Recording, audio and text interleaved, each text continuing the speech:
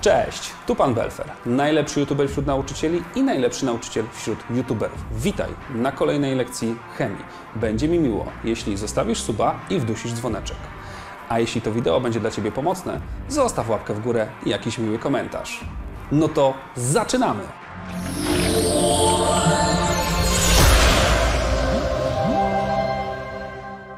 A dziś porozmawiamy sobie o tym, jak tworzy się wiązanie jonowe. Ok, wiązanie jonowe jest takim typem wiązania, w którym ktoś jest bardzo, bardzo silny, a ten drugi jest dosyć słaby. E, I dlatego te gify, które macie tutaj pod spodem, mają trochę Wam symbolizować właśnie atomy silnych pierwiastków, takich bardzo, bardzo mocnych, mm, które silnie przyciągają elektrony, a dalej tych, którzy już nie są tacy silni. No właśnie, a o czym tak dokładnie sobie porozmawiamy dzisiaj? Znowu przypomnijmy sobie, bo to naprawdę warto za każdym razem robić, żebyście mniej więcej wiedzieli skąd te wiązania chemiczne się biorą i, i co je napędza do tego, żeby tworzyły się różnego rodzaju takie związki chemiczne. Dublety, oktety i elektroujemność. Przypomnienie. Czym różni się jon od atomu? I to też jest przypomnienie. Na czym polega wiązanie jonowe? Oraz gdzie występuje i jak się tworzy wiązanie jonowe. No dobra to lecimy. Czyli jeszcze raz, słuchajcie. E, pamiętacie kota śpiącego przed kominkiem? Na pewno pamiętacie. O co w tym wszystkim chodziło? O stan o jak najniższej energii, czyli mówimy też konfigurację gazu szlachetnego. Dwa, dwa magiczne słowa, dublet i oktet elektronowy. Dwa elektrony walencyjne, osiem elektronów walencyjnych, atomy wszystkich pierwiastków chemicznych chcą sobie uzbierać taki stan na ostatnich powłokach i dzięki czemu, dzięki temu tak naprawdę tworzą wiązania chemiczne, różne. No dobrze, a teraz to nam tutaj mocno się przyda. Jeżeli tworzą wiązania chemiczne, to w tych wiązaniach chemicznych mają też różną moc. Oni, znaczy one, w sensie atomy. I tą moc nazywamy elektroujemnością. Elektroujemność, tak jak widać tutaj na skali, na tym naszym wykresie, w sumie taki, taki specyficzny rodzaj układu okresowego, w którym głównym bohaterem jest elektroujemność, pokazuje, że są pierwiastki chemiczne bardzo silne, jak ci siłacze z górnych gifów, no i są tacy mniej silni, jak ci na dole właśnie, którzy mają około 0,7, to są właśnie metale takie jak ces i rubit w układzie okresowym pierwiastków, a do góry ten fluor to jest taki siłacz, taki półdzian, wiecie, układu okresowego, który ma elektroujemność w wartości 4,0. No dobrze, e, no a tu na dole macie to, z czego będziemy korzystali, z czego Wy też będziecie korzystali, czyli skalę elektroujemności wpisaną w układ okresowy pierwiastków, który jest dostępny dla egzaminach. Także warto opierać się na tych właśnie wartościach, które tutaj są. No dobrze, to już wiecie. Przypomnieliśmy sobie dublety, oktety i elektroujemność. Pamiętajcie, siła przyciągania elektronów. No dobrze, no ale teraz musimy sobie powiedzieć, czym różni się jon od atomu. Przypomnieć tak naprawdę, bo to już było wcześniej. Jeszcze raz definicja. Atomy to cząsteczki, które nie posiadają ładunku elektrycznego, czyli mają tak naprawdę taką samą liczbę protonów i elektronów. Czyli jeżeli macie tutaj symbol O8, czyli liczba atomowa 8, oznacza, że atom tlenu ma atom tlenu ma ma 8 protonów i 8 elektronów. Tyle samo. Tutaj mamy atom sodu, który ma 11 protonów i 11 elektronów, więc nie tworzy się żaden ładunek elektryczny, bo wszystko jakby się niweluje. Ilość plusów i minusów się niweluje, ładunków dodatnich ujemnych. Czym w takim razie są jony? Jony to są cząstki, które posiadają ładunek elektryczny. To znaczy, że już nie będą miały tyle samo protonów i elektronów, tylko dzielimy je na dwa rodzaje na tak zwane jony dodatnie, czyli mówimy o nich kationy. I kationy to są te jony, w których jest więcej protonów niż elektronów. I potem mamy aniony, to są jony ujemne, w, którym jest, w których jest więcej elektronów niż protonów. No dobrze. Przykład tutaj, proszę bardzo. Określ ile protonów i elektronów tworzy anion O2-. No to widzicie, że jeżeli mamy ósemkę, to jest liczba atomowa, to oznacza, że mamy 8 protonów, bo to zawsze się nie zmienia. Protony są w jądrze atomowym i zawsze będzie ich tyle samo. Ale oznaczenie 2- oznacza, że dostał od kogoś dodatkowo dwa elektrony, czyli już nie ma tak jak wcześniej 8 protonów i 8 elektronów, tylko dodatkowo dwa w bonusie, 2 minus, czyli ma więcej minusów, czyli elektronów. W związku z tym musicie sobie dodać do tej jego bazowej ilości 8 elektronów ten ładunek 2, czyli wychodzi Wam w sumie 10 elektronów. Czyli co tu mamy? 8 elektronów plus 2 elektrony. Te nadmiarowe. Stąd bierze się ładunek 2 minus. Określ, ile protonów i elektronów tworzy kation. Kation Al3+. Tak? Pamiętajcie, aniony mają minusik, a kationy mają ładunek dodatni. Znowu, 13 protonów, bo liczba atomowa wynosi 13. To jest stąd, pamiętajcie, tu i tu. Ale teraz, yy, gdybyśmy mieli atom glinu, to miałby też 13 elektronów i wtedy byłoby wszystko porówno. Ale ponieważ widzimy, że powstał kation glinu 3, to znaczy, że ktoś od niego zabrał 3 minusiki i 3 plusy protony zostały bez pary. Czyli tak naprawdę, jak powstał nam ten kation? Kation powstał w ten sposób, że te 10 elektronów, które tutaj są, powstało tak, że było 13 elektronów, a teraz jest 10 elektronów, czyli ktoś zabrał 3. Ok? Czyli tutaj w sumie moglibyśmy tutaj powiedzieć, że dodano, do góry do tlenu dodano elektrony, a tutaj odjęto 3 elektrony. I tutaj możemy sobie zaznaczyć, co powoduje, jak dodaliśmy dwa elektrony, że tutaj do góry powstało 10 mm, elektronów. No, czyli w przypadku anionów dodajemy elektrony, w przypadku, w, w przypadku kationów odejmujemy elektrony. Zapamiętajcie sobie, bo to się przyda właśnie przy omawianiu wiązania jonowego. Dobra, no to teraz przechodzimy sobie do tego, co jest najważniejsze. Czyli na czym polega tak naprawdę wiązanie jonowe? Raz, dwa, trzy, cztery gify odpalimy sobie. Słuchajcie. Dobra, pamiętacie elektrojemność, pamiętajcie tam tą skalę, te schodki i pamiętacie, że najwyższy był fluor i wokół niego tam kumulowały się też takie silne pierwiastki chemiczne, które mocno przyciągały cudze elektrony, no to one krzyczą give me, give me, oddawaj mi moje elektrony walencyjne, znaczy oddawaj mi swoje elektrony walencyjne, krzyczą do innych atomów. A od których będzie im najłatwiej odjąć te elektrony walencyjne? Od tych najsłabszych. Mało tego, nie dość, że od nich będzie najłatwiej im wziąć, to te, które najsłabiej przyciągają elektrony, nawet się z tego ucieszą. Wbierzcie, my ich nie potrzebujemy. Zaraz Wam wyjaśnię dlaczego.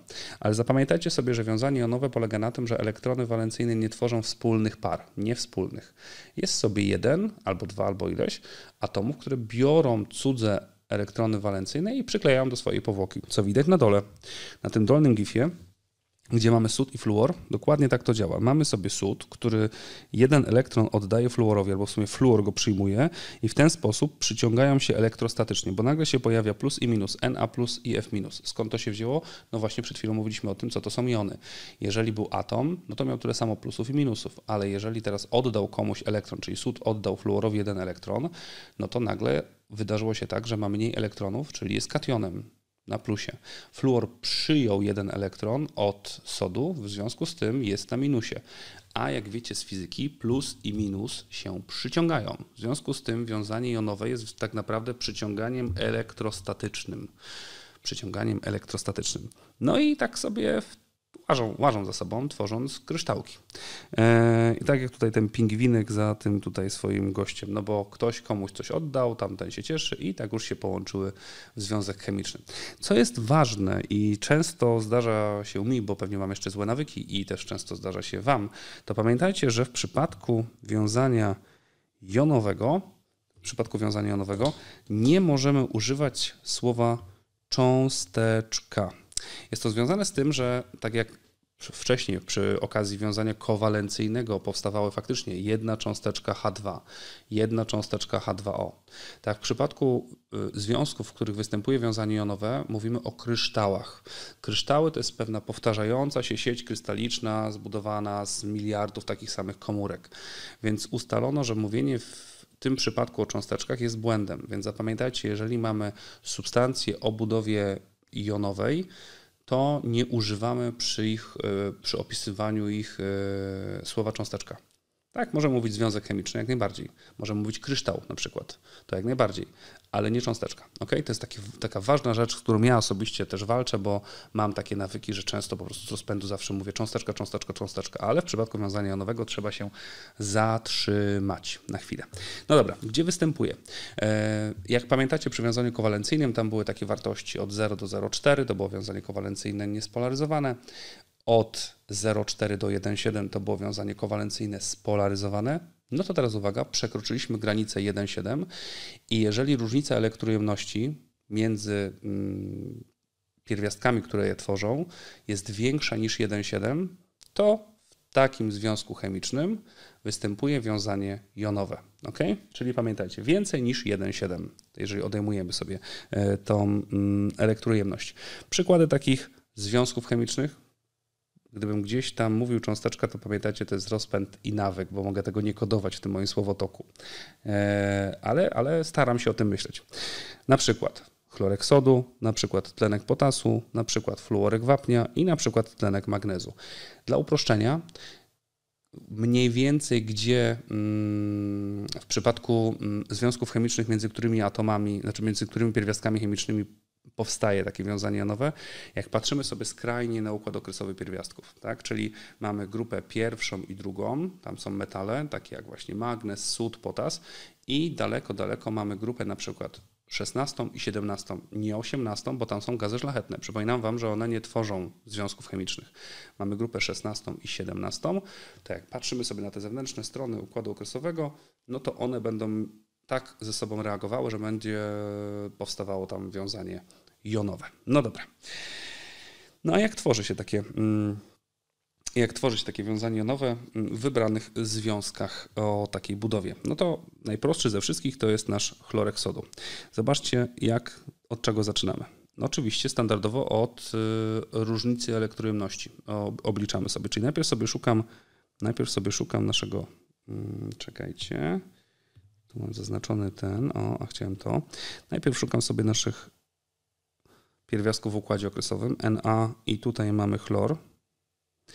Czyli robimy różnica elektroujemności, różnica elektroujemności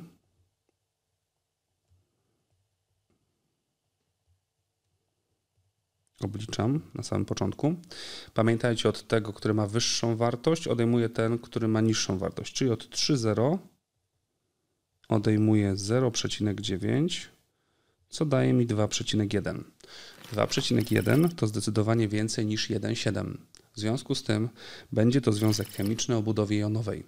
No i teraz zastanówmy się, jak, ta, y, jak ten związek chemiczny powstaje, jak, ten jak te kryształy powstają. Pilnuje się cały czas a propos tych słów cząsteczka. No więc tak, mamy sobie sód, pamiętacie nasze pytania, tak? Ile ma elektron walencyjnych, ile chcemy mu brakuje. W przypadku sodu nie jest to takie, mm, nie jest to takie proste, dlatego że sód chce się pozbywać swoich elektronów. Dlaczego? Jakbyście się cofnęli kiedyś do budowy atomu, ale nie będzie teraz, nie ma teraz na to czasu, ale jakbyście sobie się cofnęli do budowy atomu mm, i konfiguracji elektronowej, jakbyście sobie zobaczyli, jak wygląda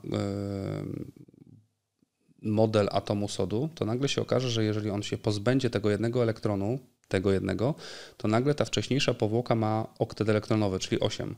Więc sód y, to taki pierwiastek, któremu zależy na tym, żeby ktoś mu zabrał ten jeden elektron walencyjny. Więc on ma ten jeden i chce go komuś oddać. Metale chcą pozbyć się swoich elektronów najczęściej. Bierz to sobie. No i teraz muszą znaleźć kogoś, kto będzie chciał od nich to zabrać. A chlor jak najbardziej. No dlaczego? No bo chlor ma 7 mm, elektronów walencyjnych, bez w grupie 17, czyli sobie rysujemy, patrzcie, 6 tutaj i ten jeden bez pary. I skoro sód mówi, ej, ej, weź ten ode mnie elektron, bo ja go nie chcę, skasuj mi tą ostatnią powłokę, wtedy będę miał powłokę walencyjną od razu, która ma 8 elektronów, no to chlor mówi, ty, no dobra, w to mi graj. Co się dzieje? Dokładnie to. Nie ma wspólnej pary, tylko sód oddaje swój elektron. No i mamy coś takiego. Także jest taki, taki, pierwszy zapis, a teraz drugi rodzaj zapisu, to dokładnie sobie zapiszemy, jak to się dzieje, ten cały proces. Co robi sód? Zobaczcie, sód musicie sobie zadać pytanie, odejmuje czy przyjmuje elektron? No, po naszym rysunku do góry widać, że odejmuje od siebie elektron, czyli minus jeden elektron, piszemy ile elektronów. I pamiętacie, przed chwilą sobie powtarzaliśmy, jak to jest, że jeżeli odejmuje elektrony, czyli komuś oddaje, to staje się automatycznie kationem. Jaki będzie ładunek tego kationu? Dokładnie taki, ile oddał minusów. Czyli jeżeli nasz sód oddał jeden elektron, to znaczy, że jeden proton został bez pary, czyli tworzy się kation Na+. Na+. Ok? Teraz co zrobił chlor? Chlor przyjął jeden elektron, w związku z tym ma więcej elektronów niż miał wcześniej, protonów, czyli już nie jest na równo, związku z tym ma ładunek ujemny, stał się anionem o wartości, o ładunku wysokości 1, czyli Cl- tak naprawdę. Wartości 1, o. Cl-. No i teraz powstał kation i anion i przyciągają się do siebie po prostu elektrostatycznie. Ok? Dobra, no to mamy pierwszy opisany przykład. NaCl. Ok, jedziemy sobie dalej. Tlenek potasu. Szukamy sobie potasu, potas jest tutaj, szukamy sobie tlenu, tlen jest tutaj. A dlaczego ich szukamy? Bo chcemy określić różnicę elektrojemności. No to liczymy. Różnica elektroujemności, różnica, różnica elektroujemności. Mhm. To jest ważne, żeby to liczyć, dlatego że czasami na sprawdzianach i na kartkówkach będziecie mieli wymieszane cząsteczki o mm, budowie kowalencyjnej ze związkami chemicznymi o budowie jonowej, to jeżeli nie zaczniecie od liczenia na przykład, albo od określenia chociaż jaki to jest rodzaj, to nawet nie będziecie wiedzieli jak to, wiedzieli, jak to rozrysować. A pamiętajcie, że każdy rodzaj wiązania chemicznego rysuje się, albo ten model tego wiązania rysuje się w specyficzny sposób. Więc pierwszą rzeczą, którą musicie zawsze zrobić, dostając jakiś wzór substancji chemicznej, to trzeba umieć określić, jakie wiązanie chemiczne tworzy daną substancję. A najłatwiej to zrobić obliczając różnicę elektrojemności. Ok? Nie musicie się uczyć na pamięć tych cyferek, bo one są wpisane w układy okresowe i tam się ich szuka. Albo w waszych podręcznikach, albo gdzieś tam na kartkówce, jak dostaniecie na przykład dodatkowo e, do, jako pomoc e, do kartkówki czy do sprawdzianu. Ok? Dobra. Różnica elektrojemności. Mamy tak, pamiętać od tego, kto ma, który ma wyższą elektrojemność, czyli 3,5 ma tlen, Odejmujemy ten, który ma niższą elektrojemność, czyli 0,9. To już jest skomplikowana matematyka. To będzie pewnie 2,6. Dajmy na to. Chyba tak, nie? 2,6 jest 2,6. No i jak wiecie, 2,6 to jest więcej niż 1,7, a jeżeli różnica, e, różnica elektrojemności jest wyższa, większa niż 1,7, to oznacza, że wiązanie to będzie jonowe, czyli ten związek chemiczny będzie miał, sobie, będzie miał w sobie takie, a nie inne wiązanie. Jak ono powstaje? Zobaczcie. Mamy dwa atomy potasu. Jeden i drugi. Każdy z nich leży w pierwszej grupie, to znaczy, że mają jeden elektron walencyjny do oddania, podobnie jak sód. Chcą się pozbyć, bo wtedy im się odsłoni ta wcześniejsza powłoka, tam już czeka sobie 8 elektronów, czyli czeka sobie oktet elektronowy. Więc potas Mówi, no, ktoś by może chciał jakieś dwa elektrony, no hej, hej. No i gdzieś tam w okolicy pojawia nam się tlen. No i mówi, kurczę, w sumie to ja mam 6 elektronów walencyjnych, no grupa 16, no ty idealnie, pasowałyby mi te dwa wasze elektrony. To mi oddajcie. W związku z tym, jak się tlen do tego przygotowuje, on nie wystawia do przodu żadnych elektronów, tylko właśnie z przodu zostawia puste miejsce. Dlaczego? Bo jest sprytny.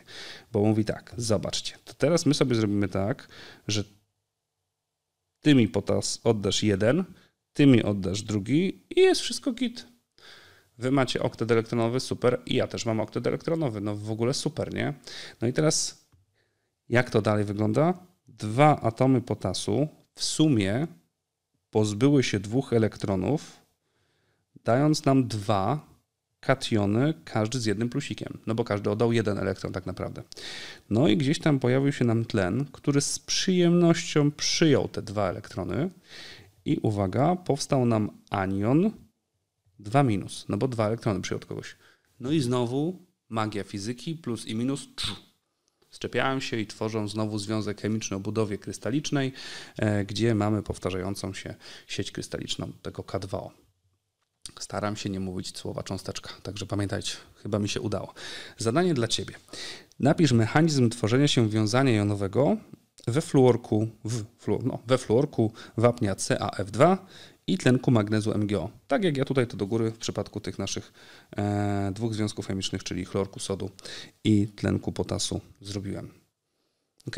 Także zeszyt, jakaś kartka papieru, układ okresowy i próbuj próbuj, próbuj i jeszcze raz próbuj. Dobra. No to co? Co tam dzisiaj było w naszym menu? Słuchajcie. Dzisiaj w menu było oczywiście, jak powstaje wiązanie jonowe. Znowu przypomnieliśmy sobie te dublety, oktety i elektrojemność. To jest bardzo ważne. Potem przypomnieliśmy sobie, bo to już dużo wcześniej było, mm, czym różni się jon od atomu. To też jest ważne, żeby w ogóle rozumieć, że to jest coś innego atom i jon. No i potem przeszliśmy sobie do tego, co jest najważniejsze na dzisiejszej lekcji, czyli na czym polega wiązanie jonowe. E, mówiliśmy sobie o tym, że jest jakiś bardzo silny e, pierwiastek chemiczny o wysokiej wartości elektrojemności i jakiś słaby, który mówi bierzcie to sobie i one się dogadują. Jeden mówi dawaj, a drugi mówi tak, bierz to sobie. No i tworzą tą wspólną parę, znaczy wspólną parę, tworzą mm, związek chemiczny, którego szczepiają tam siły fizyki, plusy i minusy. No i na końcu pokazywaliśmy sobie, jak to tak naprawdę powstaje. Czyli analizując różnice elektrojemności, wskazywaliśmy, że elektron z metali przeskakuje sobie na niemetal, niemetal się cieszy, metal się cieszy, bo się pozbywa tego e, balastów pod tytułem jeden albo dwa elektrony, bo on ma już tam, czeka sobie oktet elektronowy gdzieś tam z tyłu na wcześniejszej powłoce, więc wtedy znika mu ta cała powłoka, mówi bierz, bierz, bierz nie metal uzupełnia w gratisie, mówi, ktoś mi oddaje, ale super, nie? Ktoś mi oddaje w ogóle elektrony, mega. No ja sobie w ten sposób uzupełniam, więc będę też happy. No ale nagle się okazuje, że zmieniają się atomy w jony, a jony już mają ładunki elektryczne, a jeden ma minus, a drugi ma plus, albo plus i minus i to powoduje, że nagle tworzy nam się kryształ, e, czyli związek o budowie jonowej. I nie mówimy wtedy cząsteczka. Chyba mi się udało. Tak mam nadzieję. No właśnie. No to tak. Uff. Daliśmy radę. Super.